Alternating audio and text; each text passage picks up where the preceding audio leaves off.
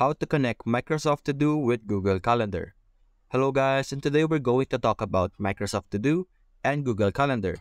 Now to make these two interact and connect with each other, we're going to use this website called Zapier.com and you're simply going to create an account and then you would be redirected to the dashboard of Zapier.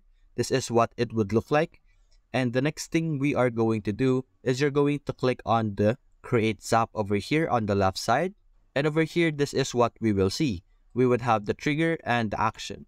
What we're going to do is we're simply going to choose which trigger we would like to do. For example, we're going to have Microsoft to do as our trigger, and then we're going to select an event that would happen.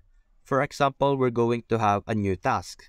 Then we're going to click on continue, and then we would need to connect our account on Microsoft To Do. And after that, we're going to click on the action over here, and then we're going to select Google Calendar. Then we're going to choose an event, and what we're going to choose is we're going to choose the quick add event over here. And then we're going to click on continue. And we would need to connect our Google Calendar over here. Now, what would happen is when a new task is added in the Microsoft To Do, it will automatically add an event in Google Calendar. Now, after connecting your two accounts over here, you would be able to publish this integration and you would be able to make them work together. And that's it guys. Hope you enjoyed the video. Thanks for watching.